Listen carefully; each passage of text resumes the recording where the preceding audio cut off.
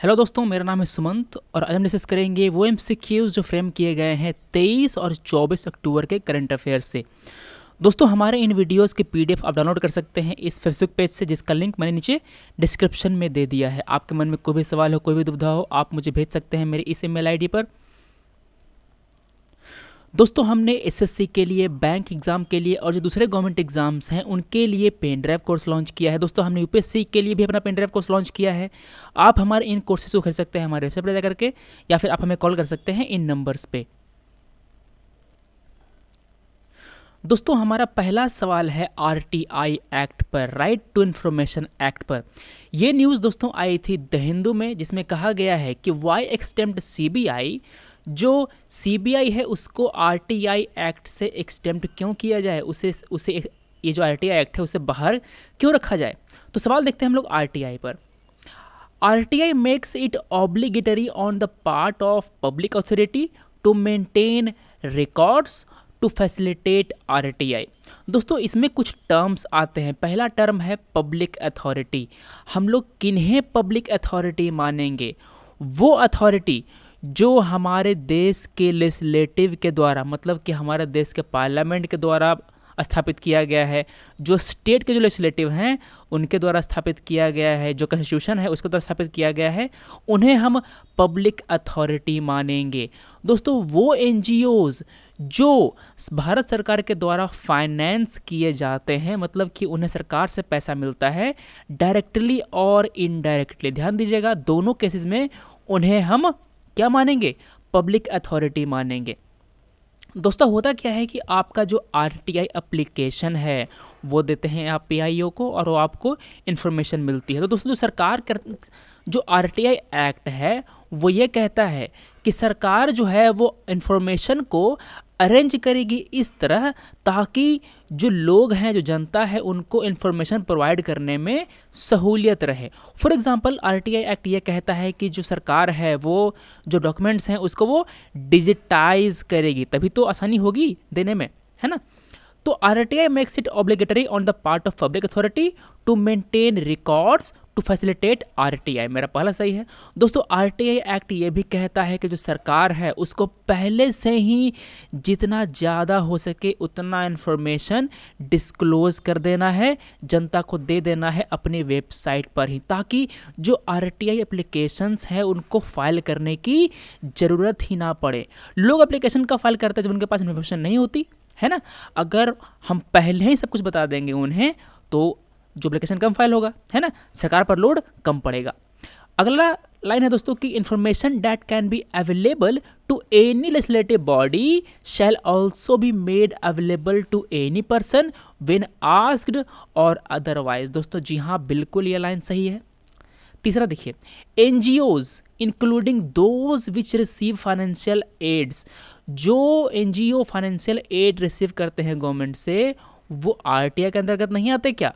आते हैं? जी, बिल्कुल आते हैं। मैंने अभी तो कहा कि जो एनजीओ भारत सरकार के द्वारा डायरेक्टली और इनडायरेक्टली फाइनेंस्ड किए जाते हैं, वो सब पब्लिक अथॉरिटी कहलाएँगे और वो सब आरटीआई के अंतर्गत आएँगे। मेरा थर्ड है जो गलत है। क्यों? क्योंकि मैंने यहाँ पर कह दिया नॉट कवर्ड अगर मैंने कहा होता कि दे आर कवर्ड तो थर्ड लाइन भी सही होती। समझ गए बात? तो दोस्तों यहाँ तो मैं मेरा आंसर क्या है? मेरा आंसर यहाँ पर वन एंड टू क्यों पूछ रहा है? क्योंकि ये करेक्ट कौन सा है? मेरा आंसर है यहाँ पर B one and two only दोस्तों, अभी मैंने पिछले वीडियोस में जो आरटीआई का जो सेक्शन एट है आर एक्ट का जो सेक्शन एट है, उसको मैंने डिस्कस किया था। सवाल कह रहा था ये कि which of the following sections of RTI permits bodies कौन? Public authorities that come within the act to refuse disclosure of information दोस्तों, आपने आर टी एप्लीकेशन फ़ाइल किया, मगर कुछ ऐसे केसेस होते हैं जिनमें जो अथॉरिटी हैं, वो आपको इन्फॉर्मेशन देने से रिफ्यूज़ कर सकते हैं। तो ये जो पावर दी गई है उन अथॉरिटीज़ को, किस सेक्शन के अंतर्गत दी गई है? वो दी गई है सेक्शन एट के अंतर्गत। Section four deals with voluntary disclosure by public authority अपने आप डिस्क्लोजर करना उन इन्फॉर्मेशन को ये डील करता है सेक्शन फोर जो सेक्शन एट है दोस्तों आरटीआई एक्ट का वो ये कहता है कि जो मैटर्स होंगे आ, जो एक्सेप्ट किया एग्जेम्प्ट किए जाएँगे डिस्क्लोज करने से ये कौन करता है? सेक्शन नंबर एट करता है। मेरा आंसर है यहाँ पर सी अगला सवाल दोस्तों है सी आई सी पर सेंट्रल इंफॉर्मेशन कमीशन पर during an inquiry of a complaint no public record may be withheld from the commission on any ground क्या बात सही है? जी हाँ दोस्तों, अगर किसी कंप्लेन में कोई इंक्वायरी चल रही है तो जो भी डॉक्यूमेंट की ज़रूरत पड़ेगी, वो सब सी को देनी पड़ेगी सेंट्रल इंफॉर्मेशन कमीशन को देनी पड़ेगी। मेरा पहला सही है। When a public authority does not conform to the provisions of RTI, commission can respond by imposing penalty.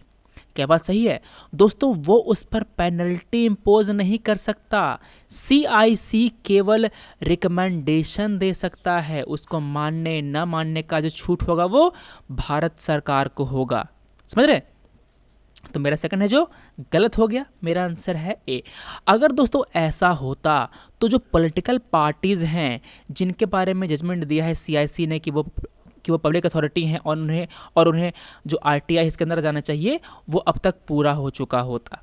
समझ रहे हैं? तो यह है बात यह है पूरी न्यूज़ यह है आरटीआई के बारे में सवाल।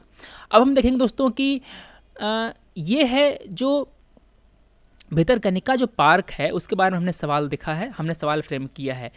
This park has reasons to cheer क्या रीज़न है? इसे आप पढ़ सकते हैं इस न्यूज़ को, ये द हिंदू में आया था। दोस्तों तो सदर प्रिलिम्स में सवाल आया कि if you want to see घड़ियाल in their natural habitat which one of the following is the best place to visit ये जो सवाल है, इसका जो सीधा सीधा मतलब दोस्तों, ये पूछ रहा है आपसे कि आप इन चारों में से किस जगह घड़ियाल को उनके नेचुरल हैबिटेट में नेचुरल आवास में देख सकते हैं।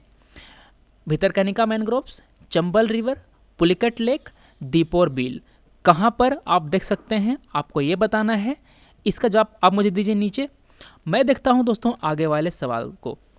आपको मैंने यहाँ पर दिए हैं दो line. Gahirmatha Beach and Marine Sanctuary lies to the east of these national park and separates swamp region covered with canopy of mangrove from the bay of Bengal दोस्तों, ये दो लाइन हमने दी है आपको एक नेशनल पार्क में। आपको ये बताना है कि वो नेशनल पार्क कौन सा है। तो सबसे पहले आप एलिमिनेट करना शुरू कीजिए। गहिर माथा बीच ये कहाँ है? दोस्तों, ये गहिर माथा बीच है उड़ीसा में। Marine sanctuary lies to the east of this national park. ये है नेशनल पार्क, इसके ईस्ट में है ये मेरिन सेंचुरी, ठीक है? ये है समुद्र, ये मेरिन सेंचुरी यहाँ पर कहीं होगा। समझ रहे हैं? तो उसका मतलब तो उसका मतलब क्या दोस्तों? इसका मतलब ये है कि ये जो पार्क है, अगर इंडिया ऐसे है है ना इंडिया ऐसे पेनिसुलर इंडिया ऐसे तो ये पार्क यहाँ पर होगा। मतलब कि ये ईस्ट जो छोर है अपना, वहाँ पर होगा, यहाँ पर कहीं। अब देखिए and separate swamp region cover with canopy of mangrove मतलब यहाँ पर आपको मैनग्रोव भी मिलेंगे। अब देखिए, अगला line the park is home to salt water crocodile ये सबसे बड़ी हिंट दी गई आपको। दोस्तों, जो सॉल्ट वाटर क्रोकोडाइल्स हैं, वो आपको मिलेंगे कहाँ? ये जो पार्क है ना उड़ीसा वाला? कौन सा? Bhitarkanika national park. यहाँ पर आपको जो है वो सॉल्ट वाटर क्रोकोडाइल मिलेंगे। मेरा आंसर है सी। दोस्तों, ये कहाँ है? ये उड़ीसा में स्थित है। उड़ीसा यहीं पर तो है, इसके इस छोर पर, है ना? दोस्तों, ये जो ये भितरकनिका नेशनल पार्क है, वो भितरकनिका वाइल्ड लाइफ सेंचुरी के अंतर, के अंदर है। इसका जो कोर एरिया है, उसमें इसको डिक्लेयर किया गया है नेशनल पार्क। सिंस 1998 उन्नीस में डिक्लेयर किया गया था इसको। दोस्तों, यहाँ पर सॉल्ट वाटर क्रोकोडाइल के अलावा जो वाइट क्रोकोडाइल है, वो आपको दिखेगा, जो इंडियन पाइथन है, वो दिखेगा किंग कोबरा ब्लैक इल्बिस फिर जो डाटर्स हैं, वो दिखेंगे। ठीक है तो ये सब चीज़ें आपको दिखेंगी यहाँ पर। अगला सवाल दोस्तों, हमने आपसे ये पूछा है कि which of the following national parks are also designated as marine protected area दोस्तों, ये जो प्रोटेक्टेड एरिया होते हैं, वो क्यों बनाए जाते हैं? वो बनाए जाते हैं जो हमारे जो फ्लोरा एंड फाउना है, उसको कंजर्व करने के लिए। तो जब भी हम किसी मेरीन एरिया को हम डिक्लेयर करते हैं, प्रोटेक्टेड एरिया, इसका मतलब क्या है? इसका मतलब ये है कि ये ओशियन का वो पार्ट है जहाँ पर ह्यूमन एक्टिविटी को ज़्यादा रिस्ट्रिक्ट किया गया है सराउंडिंग वाटर के मुकाबले। जो आसपास के जो वाटर हैं, उसके मुकाबले यहाँ पर इस मेरीन पार्क में जो ह्यूमन एक्टिविटी है, वो ज़्यादा स्ट्रिक्टली रेगुलेट किया गया है। तो आपको इनमें से चुनना है, इन पाँचों में से आपको चुनना है कि इन पाँचों में से कौन कौन है जो मेरीन प्रोटेक्टेड एरियाज़ हैं।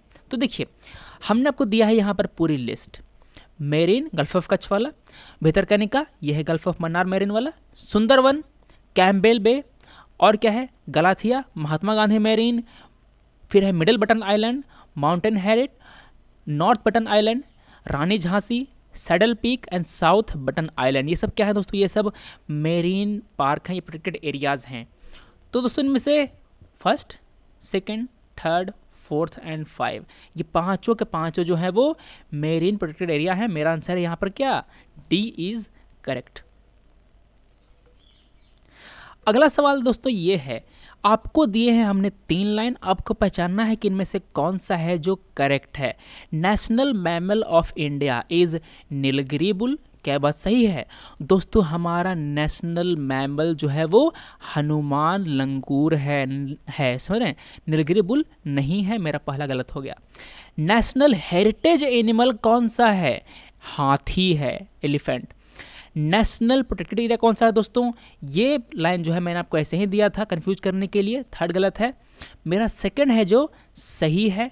नेशनल हेरिटेज मेरा एलिफेंट है। आंसर क्या है दोस्तों? आंसर है यहाँ पर बी नेशनल एलिमेंट क्या है? एनिमल क्या है? Royal Bengal tiger national heritage element elephant national mammal कौन सा?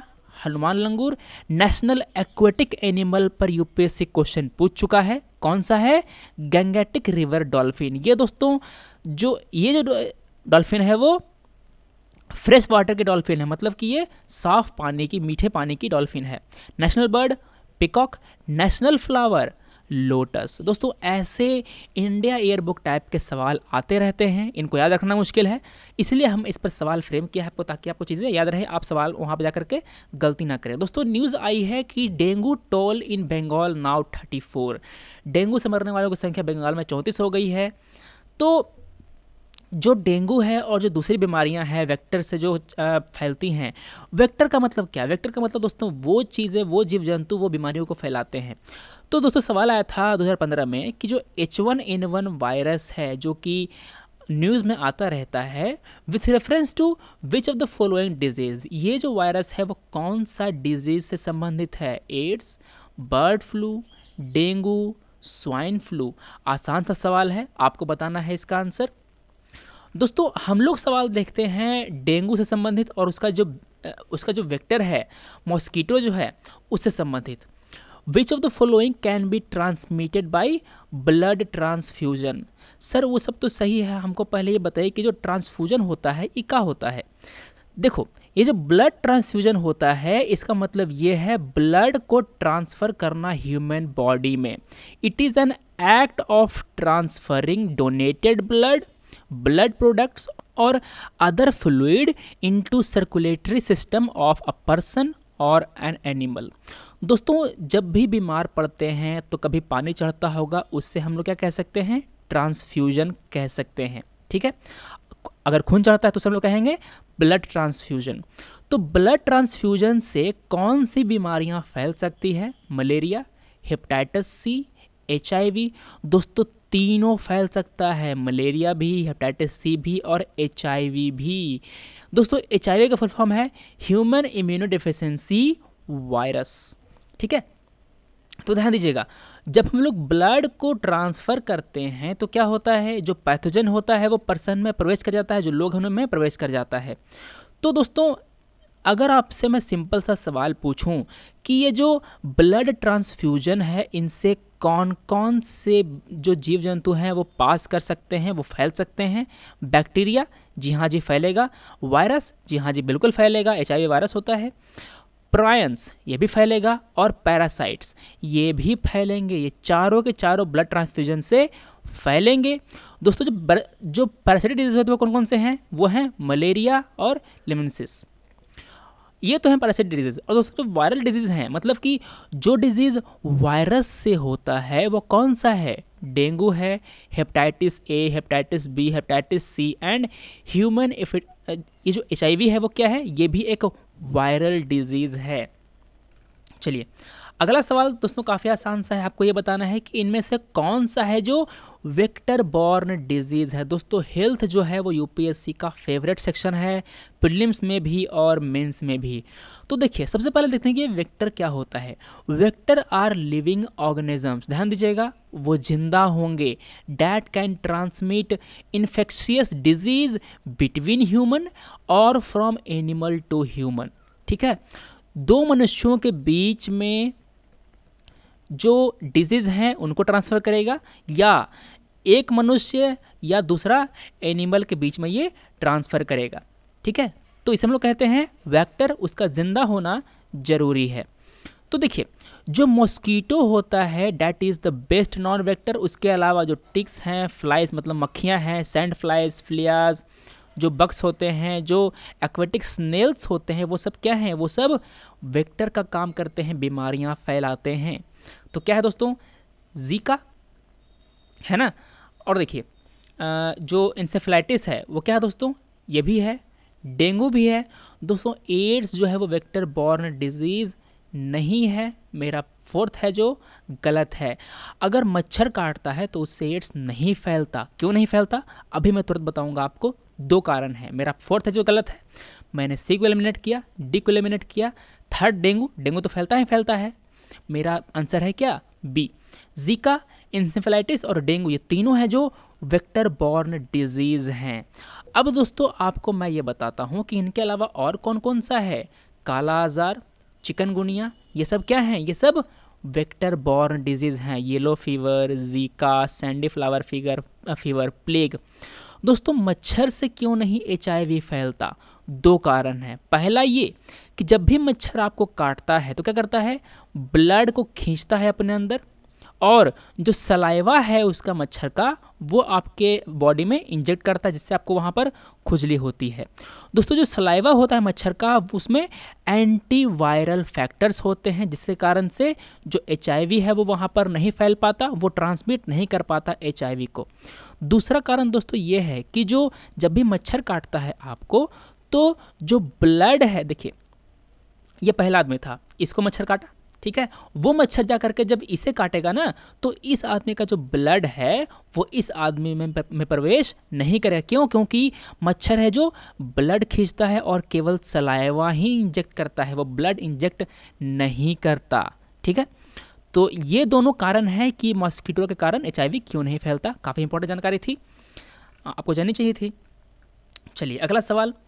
एडिस एजेप्टी मॉस्कीटो से कौन कौन सी डिज़ीज़ ट्रांसमिट होती है, आपको ये बताना है। Zika virus disease dengue, chikungunya hepatitis B दोस्तों, इनमें से जो जीका वायरस है, देखिए Zika virus dengue, chikungunya west Nile fever और येलो फीवर ये पाँचों के पाँचों ट्रांसमिट होते हैं by this aedes aegypti mosquito hepatitis B नहीं होता, मेरा फोर्थ गलत है, मेरा वन टू एंड थ्री तीनों सही है? मेरा आंसर है सी ठीक है? दोस्तों जीका वायरस के बारे में हमने आपको यहाँ पर दी इन्फॉर्मेशन क्यों क्योंकि काफ़ी न्यूज़ में था।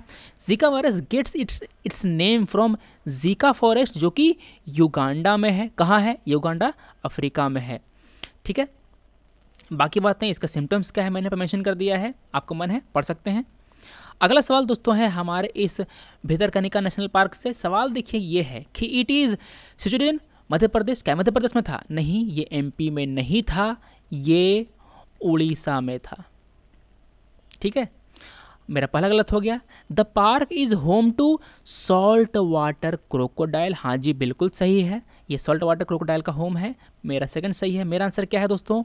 B two only is correct क्योंकि पूछ रहा है कौन सा करेक्ट है। आपको बताना है अगला सवाल कि जो नेशनल पार्क इन इंडिया है it comes under IUCN category two protected area क्या बात सही है? जी हाँ दोस्तों, ये बात बिल्कुल सही है, मेरा पहला सही है। India's first national park was formed in Madhya Pradesh. जी हाँ जी 1936 में भारत का पहला नेशनल पार्क बनाया गया था, हेली नेशनल पार्क, जिसे अब हम जिम कॉर्बेट नेशनल पार्क के नाम से जानते हैं, जो कि उत्तराखंड में है। मेरा सेकंड सही है दोस्तों? अच्छा देखिए, ये जो पार्क है वो मध्य प्रदेश में नहीं है है ना? ये उत्तराखंड में है, मेरा सेकंड है जो, गलत है, मेरा पहला सही था, मेरा आंसर है यहाँ पर ए वन इज़ करेक्ट अगला सवाल दोस्तों देखिए इन्वायरमेंट सही है। आप में से किसी दोस्त ने हमें कल मैसेज किया था कि, सर, आप इन्वायरमेंट पे कुछ क्वेश्चंस इंक्लूड कीजिए, इसलिए हमने ये क्वेश्चंस इंक्लूड किए हैं आज के सेशन में। तो सवाल देखिए, मैनग्रोव फॉरेस्ट पर है।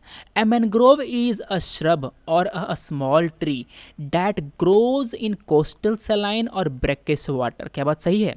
जी हाँ दोस्तों, उस वाटर में जहाँ पर जो, देखिए, ये है समुद्र, ये है, देखिए, ये है क्या? ये ज़मीन है, यहाँ पर समुद्र है। तो दोस्तों, यहाँ पर जो जंगल होता है, उसे हम लोग कहते हैं मैनग्रोव जिसकी जो जड़ी होती हैं वो पानी के अंदर होती है। ध्यान दीजिएगा, जो मैनग्रोव ट्री होते हैं, इसकी जड़ें पानी के अंदर होती है। मेरा फ़र्स्ट सही है। तो दोस्तों, जब पानी के अंदर होती हैं तो उन्हें कहाँ से मिलता है ऑक्सीजन उन्हें कम ऑक्सीजन में रहने की आदत होती है। वो उसके लिए अडेप्टेड होते हैं। मेरा सेकंड भी सही है। मेरा आंसर है यहाँ पर C both one and two are correct अगला सवाल दोस्तों ये है कि जो हमारा इकोसिस्टम है, वो हमें कई तरह के सर्विसेज़ प्रोवाइड करता है। Provisioning services supporting services routing services cultural services आपको ये बताना है कि इस, इन चारों में से कौन सा एक रेगुलेटिंग सर्विस नहीं है। चलिए देखते हैं। मेंटेनिंग वाटर क्वालिटी मतलब कि जो वाटर की जो क्वालिटी है, उसको ये रेगुलेट कर रहा है पॉलिनेशन को रेगुलेट करता है, जो कार्बन सिक्वेस्ट्री देखिए, इसका मतलब ये होता है दोस्तों कि जो कार्बन है, वो किस तरह संचित होता है हमारे इकोसिस्टम में, उसको ये रेगुलेट करता है। अगर हम ट्री ज़्यादा लगाएँगे तो दोस्तों? अगर हम ट्री ज़्यादा लगाएँगे तो ज़्यादा कार्बन स्टोर होगा हमारे जंगलों में। Climate and local weather regulation. दोस्तों, ये सब है जो रेगुलेटिंग सर्विसेज़ हैं हमारे इकोसिस्टम की। तो देखिए, यहाँ पर पहला तो सही है, सेकंड भी सही है और जो डी भी सही है दोस्तों, यहाँ पर न्यूट्रिएंट रिसाइकिल जो है वो एक रेगुलेटिंग सर्विस नहीं है, ये एक सपोर्टिंग सर्विस है। देखिए यहाँ पर सेकंड वाले पढ़िए इसमें। न्यूट्रिएंट रिसाइकिल जो है वो एक सपोर्टिंग सर्विस है। मेरा सी है जो गलत है। क्या पूछ रहा था? Which is not a regulating service मेरा आंसर है यहाँ पर सी क्योंकि ये एक सपोर्टिंग सर्विस है। अगला सवाल दोस्तों है इकोनॉमी सेक्शन से। G D P shows how much value is produced within the boundaries of a country by both citizen and foreigner G D P क्या होता है? दोस्तों, एक देश की परिधि के अंतर्गत, देखिए, ये है भारत देश, ठीक है? इस देश की बाउंड्री के अंदर एक साल में जितना गुड और सर्विस प्रोड्यूस किया जाएगा, उसका जो मोनेटरी वैल्यू होगा, उसे हम लोग कहते हैं जीडीपी ग्रॉस डोमेस्टिक प्रोडक्ट ठीक है? ये जो गुड्स एंड सर्विस प्रोड्यूस की जाएँगी, वो इस देश में रह रहे, इस टेरिटरी में रह रहे सिटीजन के द्वारा भी हो सकता है और फॉरेनर के द्वारा भी हो सकता है। इसलिए मेरा पहला है जो सही है। मान लेते हैं कि कोई विदेश आदमी यहाँ पर आगे काम कर रहा है इंडिया में तो उसका जो कंट्रीब्यूशन है, उसको भी हम काउंट करेंगे। अगला दोस्तों है इन जी एन पी पर। Gross national product it is the it measures the value of the output produced by the nationals of one country both within the national boundaries and outside दोस्तों, यहाँ देखिए, जो जीडीपी था, उसमें हमने जो territory थी उसको लिमिट कर दी थी। मगर जो जीएनपी है, उसमें जो नेशनैलिटी है, उसको हम लोग लिमिट कर देंगे। मतलब कि जो लोग भारत के हैं, उनके द्वारा जो गुड्स एंड सर्विसेज़ प्रोड्यूस की जा रही हैं, उनको हम काउंट करते हैं जीएनपी में। वो लोग, वो भारतीय या तो भारत देश में रह रहे होंगे या किसी और दूसरे देश में रह रहे होंगे। मेरा पहला और मेरा दूसरा दोनों सही है। मेरा आंसर है यहाँ पर C both one and two are correct इतना बताने के बाद अगर आप जीडीपी और जीएनपी पे सवाल गलत करके आते हैं तो मुझसे बुरा कोई नहीं होगा बच कर रहिएगा। अगला सवाल देखिए। Which of the following pairs is are is और are correctly matched Bhitarkanika national park कहाँ है? एमपी में है क्या? जी नहीं जी, मेरा ये एमपी में नहीं है, ये उड़ीसा में है। कितनी बार बताऊँ? मेरा पहला गलत है, मैंने क्या किया? मैंने ए को एलिमिनेट किया डी को एलिमिनेट किया बी और सी बच गया। क्यों? क्योंकि यहाँ पर वन नहीं है। घीर माथा, ये उड़ीसा में है। अभी मैंने बताया कि ये जो है वो इस नेशनल पार्क के ईस्ट में है। मेरा सेकंड है जो सही है। मैंने क्या किया? मैंने झट से आंसर लगा दिया सी क्यों? क्योंकि जो बी है बी में दो तो है ही नहीं, यहाँ तो तीन एंड चार है है ना? बी है सी में टू एंड फोर मेरा आंसर है क्या? सी दूसरा और चौथा यह है जो सही है, क्यों? क्योंकि बांदीपुर नेशनल पार्क जो है, वो केरला में नहीं है, ये कर्नाटका में है। कहाँ है? कर्नाटका में है। तो दोस्तों, ये था हमारा आज का वीडियो। कैसे लगा आपको? आप हमें बताइए। अब हम मिलते हैं दोस्तों अगले वीडियो में। Thanks for watching take care